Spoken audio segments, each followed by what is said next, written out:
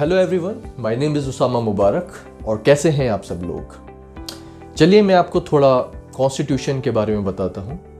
Indian constitution पे हमारी एक सीरीज़ स्टार्ट होने वाली है, जिसमें हम जो बहुत ही इंपॉर्टेंट कॉन्सेप्ट हैं उन पर चर्चा करेंगे। और फर्दर हमारी जो वीडियोज़ आएँगी, उन पर भी हम सारे mercantile law and major laws को कवर करेंगे।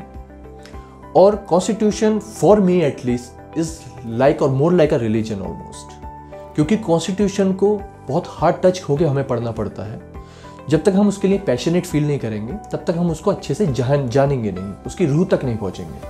क्योंकि हमें इस तरह से उसको जानना होगा कॉन्स्ट्रू करना होगा, क्योंकि कॉन्स्टिट्यूशन ने हमें हमारे बहुत वर्स्ट टाइम्स में, जब से इंडिया को इंडिपेंडेंस मिला है, तब से हमें हमेशा प्रोटेक्ट किया है।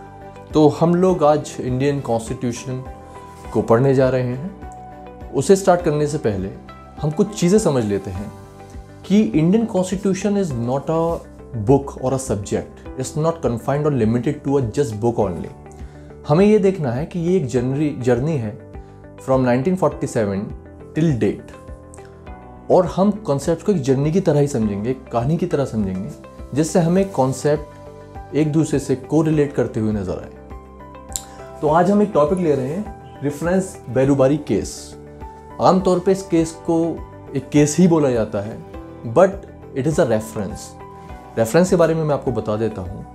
Article 143 of Indian constitution talks about presidential reference तो आर्टिकल 143 में बात होती है power of president to consult supreme court हालाँकि इसको ये भी कहा जाता है कि एक एडवाइजरी जुरिस्डिक्शन है सुप्रीम कोर्ट का। बट लिखा हुआ ये है power of president to consult supreme court on a substantial question of law so substantial question of law इसको देख लेते हैं सब्सटैंशियल क्वेश्चन ऑफ़ लॉ क्या होता है। Substantial question of law. Substantial question of law एक ऐसा क्वेश्चन होता है जिस पर सुप्रीम कोर्ट ने पहले कभी कोई क्लियरेंस नहीं दिया है, किसी केस में उसको क्लियर नहीं किया है, और पहली बार सुप्रीम कोर्ट उससे रूबरू हो रहा है कि इस क्वेश्चन ऑफ़ लॉ पे क्या क्लियरेंस दिया जाए। इसको हम थोड़ा पे होल्ड पे डालते हैं, इसको बाद में कनेक्ट करेंगे। पहले हम देखते हैं क्या बैकग्राउंड है बैरूबारी केस का। तो जब इंडिया डिवाइड हुआ था, इंडिया पाकिस्तान दो नेशन बने थे, उस टाइम पर बहुत सारे बॉर्डर्स को डिवाइड किया गया था। तो इंग्लैंड से सर सिरिल रेड क्लिफ जो थे, उन्होंने इन बॉर्डर्स को डिवाइड किया था। और बड़ा ही और तरीके से डिवाइड किया था, बड़ा ही एब्सर्ड तरीके से डिवाइड किया था। आप सुनेंगे तो आपको बहुत आश्चर्य लगेगा। वो फिजिकली जाए बिना उन बॉर्डर्स पर, उन्होंने उन बॉर्डर्स को डिफाइन कर दिया। उनको आउटडेटेड मैप्स दिए गए। आउटडेटेड मैप्स जब उनको दिए गए तो जो प्रेजेंट कंटेम्प्रेरी सिचुएशन थी वहाँ पर, जो बॉर्डर जिस तरह से थे, वहाँ पे रिवर्स थी लेक्स थे, थानास थे तो उन मैप से वो रिलेट नहीं कर रहे थे। फिर उन मैप्स पर उन्होंने थाने के अकॉर्डिंग लाइन ड्रॉ कर दी। मैं आपको बता देता हूँ। सपोज़ करिए, जैसे ये एक बॉर्डर है, ये पाकिस्तान है और ये हमारा इंडिया है। अब इंडिया पाकिस्तान के बॉर्डर को डिवाइड करने के लिए हमें जाना पड़ेगा, वहाँ देखना पड़ेगा कि कौन सी हद इंडिया की है, कौन से स्कूल्स कौन से लेक्स कौन से रिवर्स इंडिया में आ रहे हैं और कौन से इंफ्रास्ट्रक्चर पाकिस्तान में आ रहे हैं। बट उन्होंने उन मैप्स को लेकर क्या किया कि सपोज़ करिए यहाँ पे एक थाना है तो एक थाने को पाकिस्तान में उन्होंने दे दिया। यहाँ पर इंडिया की सरहद में है तो वो इसको इधर कर दिया। कुछ कुछ घर भी बीच में आए, इस तरह से। तो अब सपोज़ करिए, कोई इंसान जिसका घर इस लाइन पर बिल्कुल इस तरह से आ रहा है, उसका आधा पार्ट पाकिस्तान में है, आधा इंडिया में है।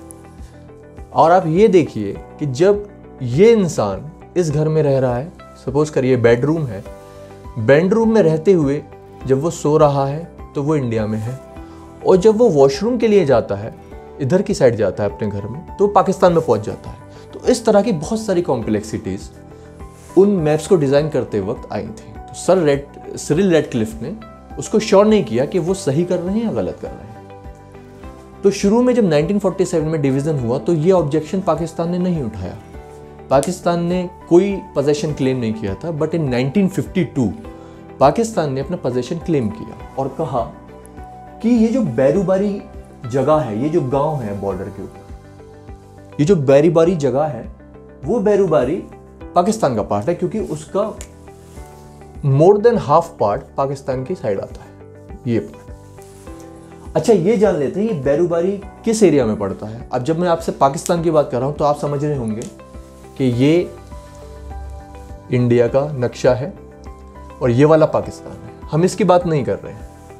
हम बात कर रहे हैं जो हमारा बंगाल वाला पार्ट था वेस्ट बंगाल जब इंडिया पाकिस्तान का डिवीज़न हुआ तो जो ईस्ट पाकिस्तान पाकिस्तान के शेयर में आया तो ईस्ट पाकिस्तान में ये जगह थी बैरूबारी।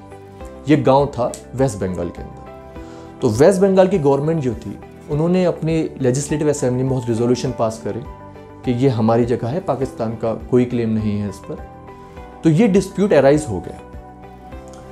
अब एज अ लॉ स्टूडेंट हम ये जानने की कोशिश करेंगे कि ठीक है, ये एक पॉलिटिकल सिनेरियो चल रहा था, हर स्टेट गवर्नमेंट जैसे वेस्ट बंगाल की थी गवर्नमेंट ऑफ़ इंडिया थी अपने अपने पेश लड़ा रहे थे, बात कर रहे थे कि हमारा क्लेम इस तरह से रहेगा।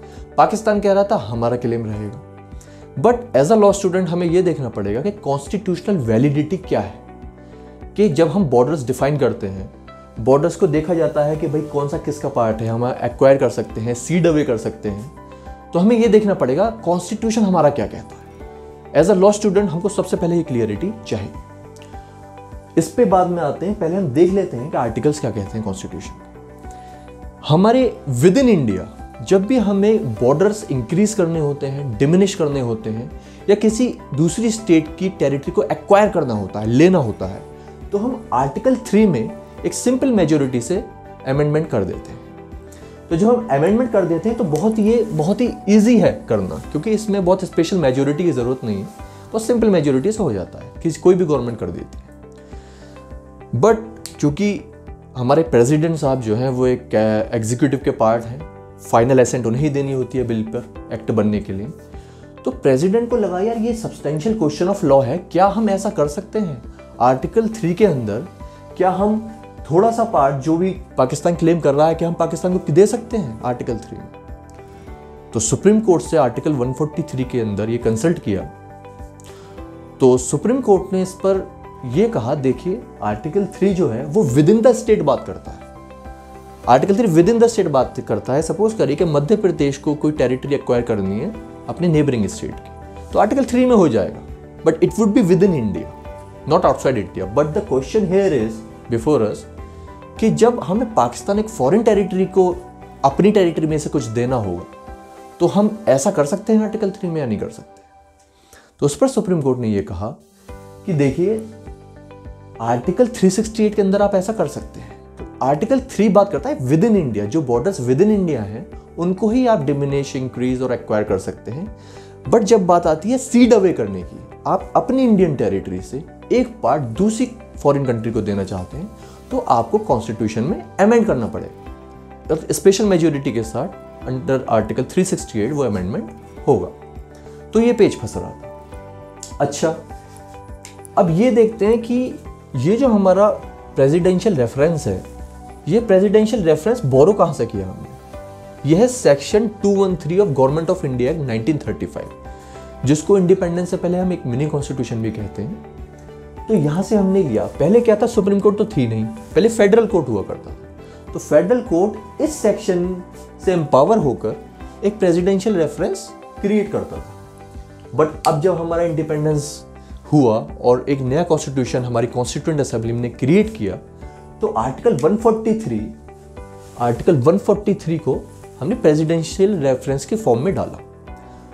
तो प्रेसिडेंट सामने क्वेश्चन तो दो कर ही लिए थे, सुप्रीम कोर्ट से सब्सटेंशियल क्वेश्चन और सुप्रीम कोर्ट ने बहुत क्लियरली कह दिया था कि आप अंडर आर्टिकल 368 आप कर सकते हैं, आप सीड अवे कर सकते हैं टेरिटरी को, आप दे सकते हैं पाकिस्तान, कोई इशू नहीं है उसके साथ। तो बड़ा पेश लड़ा इस पर अच्छा था क्या?